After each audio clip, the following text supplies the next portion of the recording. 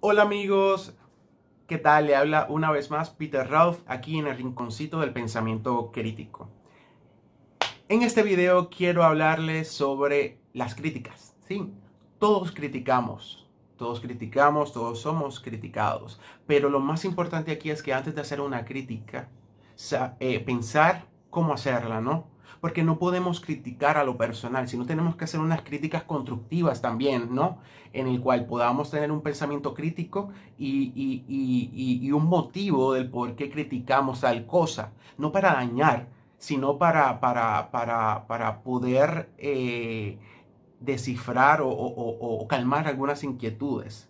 Entonces criticamos mucho el, sistema, el sistema global, el sistema de gobierno económico, social, entre otras cosas, lo cual es válido porque realmente hay muchas injusticias en este mundo. Eh, la vida es injusta, como algunos dicen, pero realmente quien las ha vuelto injustas ha sido el ser humano. El ser humano no es perfecto. Recuerden que, que eh, eh, somos maravillosamente imperfectos, pero si lo vemos de una, un punto de vista muy diferente al que muchos están acostumbrados a ver. Mi consejo es que antes de criticar podamos, tenemos que tener el don o haber aprendido lo que es la empatía, ponernos en zapatos de los demás antes de criticar, ¿sí? Poder ver las situaciones o, cualquier tipo de tema de diferentes puntos de vista antes de dar una conclusión. Tenemos que, que, antes de criticar, investigar, estudiar y sacar una conclusión con base y fundamento y no hablar solamente por hablar, ¿sí? Porque, o sea, o quedaremos en ridículo o, realmente confunden más a las personas que, que, realmente están confundidas acerca de diferentes tipos de temas. Debemos ser más empáticos con todo y con todos.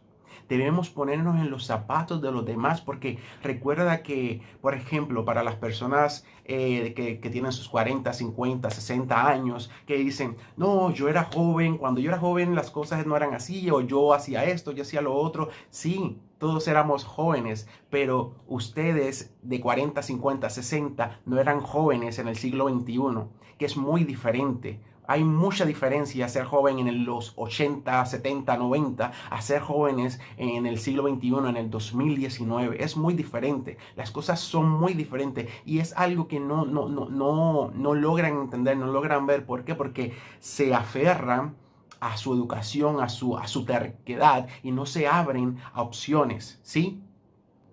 Y lo más importante, antes de criticar Critícate a ti mismo, porque recuerda que cuando tú señalas con un dedo, hay varios señalándote por detrás. Así que tratemos de ser más empáticos, tratemos de, de, ayudar de cierta, de cierta manera a los demás, tratemos de hacer el bien y no el mal. Tratemos de que si que tenemos una meta, un sueño, lograrlo, pero sin que segundos o terceros se vean perjudicados. ¿Sí? Traten de que siempre que hagan algo tengan la conciencia limpia.